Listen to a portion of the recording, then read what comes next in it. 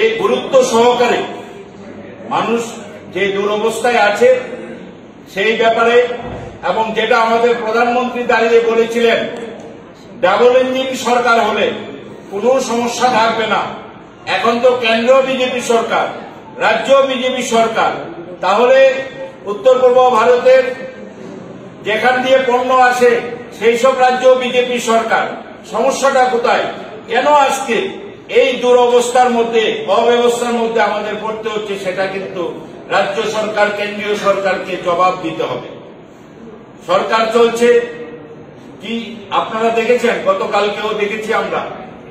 আমাদের রাজ্যে অনেক প্রাক্তন মুখ্যমন্ত্রী আছে প্রাক্তন হয়ে যাওয়ার পরে উনি তো সাধারণ বিধায়ক। অন্যান্য প্রাক্তন মুখ্যমন্ত্রীদের ক্ষেত্রে কোনো অ্যাসকোর্ট থাকে না, কোনো ধরনের সিকিউরিটি থাকে না। আর আমাদের এখানে প্রাক্তন হওয়া সত্ত্বেও অন্তত মরাল গ্রাউন্ডে একটা প্রাক্তন মুখ্যমন্ত্রী বা একজন সাধারণ বিধায়কের যে ধরনের নিরাপত্তা, কিন্তু আমরা সেখানে উল্টো ব্যবস্থা দেখছি। মনে হচ্ছে যেন প্রাক্তন হওয়ার পরে ওনার নিরাপত্তা আরও বেড়ে- গেছে কনভয়টা আরও বড় হয়ে গেছে। এবং যেখানে আমরা লক্ষ্য করলাম, পঞ্চাশ কিলোমিটার দূরেও সে হেলিকপ্টার চড়ে উনি যাচ্ছেন। আমাদের বক্তব্য হেলিকপ্টার চড়ার বিরুদ্ধে নয় কারণ আমাদের